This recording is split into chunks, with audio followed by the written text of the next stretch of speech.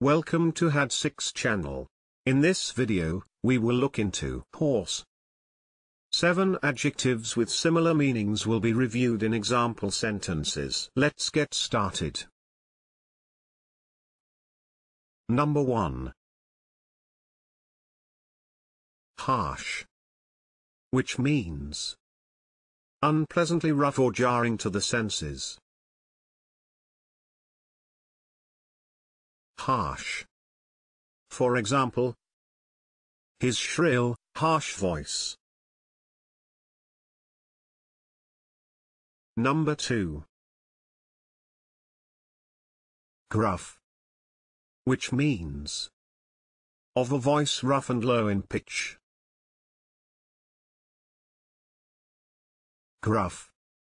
For example, she spoke with a gruff, masculine voice. Number 3. Raucous.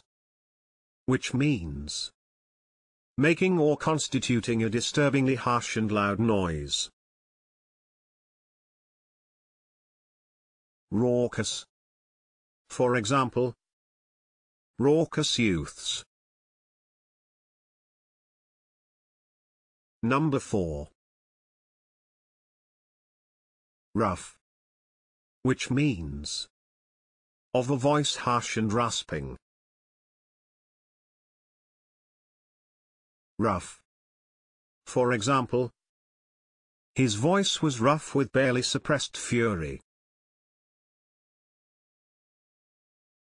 Number 5. Throaty. Which means of a voice or other sound deep and husky. Throaty. For example, rich, throaty laughter. Number 6.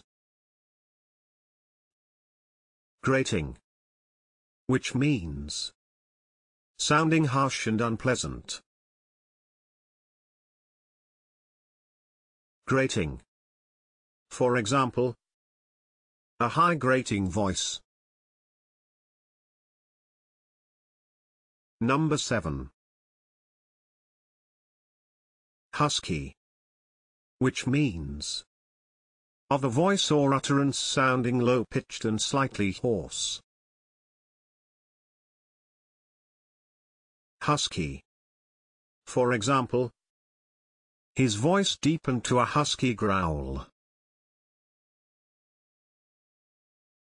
If you have better examples in mind, please share them in the comment section below.